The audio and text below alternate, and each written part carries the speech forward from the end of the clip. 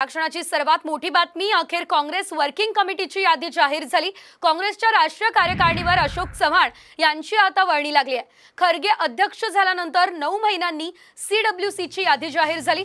नाराज सचिन पायलट यांची देखील वर्णी लागलेली आहे. या क्षणाची सर्वात मोठी अपडेट आपण पाहतोय. काँग्रेस वर्किंग कमिटीची यादी जाहीर झालेली आहे. अधिकचे अपडेट घेऊयात. आमचे प्रतिनिधी प्रमोद जगताप यांच्याकडून. प्रमोद या क्षणाची मोठी बातमी काँग्रेस संदर्भात येते सविस्तर माहिती काय आहे? शेजल आपण म्हणू शकतो दोन हजार चोवीसच्या लोकसभा निवडणुकीसाठी टीम खरगेंची जी आहे ती नियुक्ती झाली असं आपण म्हणू शकतो. कारण हे जे एकोणचाळीस लोक आहेत ते लोक पक्षाध्यक्ष मल्लिकार्जुन खरगे यांच्या नेतृत्वामध्ये आगामी काळामध्ये काम करणार आहेत. काँग्रेसची सर्वात मोठी कमिटी म्हणून या कमिटी कमिटीकडे बघितलं जातं. जे डिसिजन असतात ते डिसिजन हे संपूर्ण डिसिजन ही कमिटी घेत असते. या कमिटीत आपण खास करून जर बघायला गेलं तर जे नाराज आहेत त्या नाराजांमधील देखील काही लोकांना स्थान दिलेलं आहे.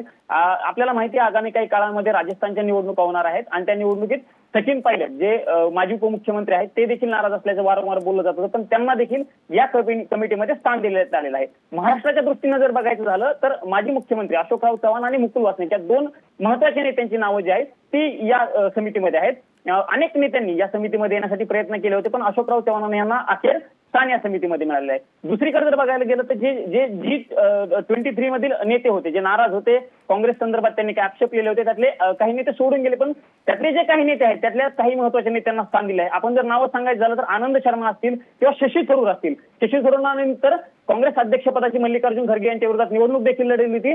त्यांना देखील या समितीमध्ये स्थान देण्यात आलेलं आहे. त्यामुळं आगामी काळामधील काँग्रेसचे डिसिजन होणार आहेत निवडणुकी संदर्भात असतील तिकीट वाटपा संदर्भात असतील किंवा प्लॅनिंग या सर्वांचा पुढे पक्षाला नेमका कसा फायदा होतो हे बघणंही महत्वाचं असणार आहे. धन्यवाद या सर्व अपडेट्ससाठी